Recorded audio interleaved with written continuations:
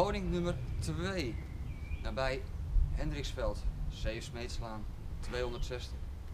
Een unieke woning, zoals u ziet achter. Maar er is nog iets bijzonders aan deze woning. Ik kan het u nu laten zien. Loop maar even mee.